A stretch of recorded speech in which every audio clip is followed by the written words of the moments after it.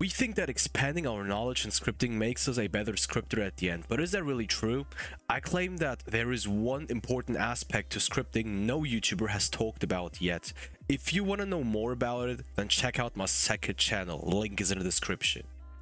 Alright guys, so welcome to today's video and in today's video I have a Blox, fruits, mastery system for you and I'm using a sword tool right here just for an example of how you can do a mastery level system.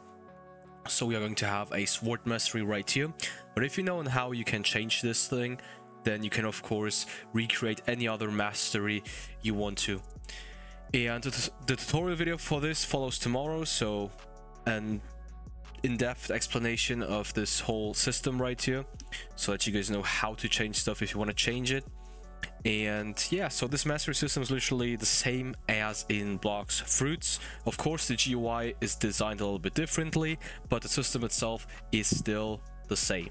All right guys link to the model is in the description guys. Subscribe like comment check out my second channel. With that being said see ya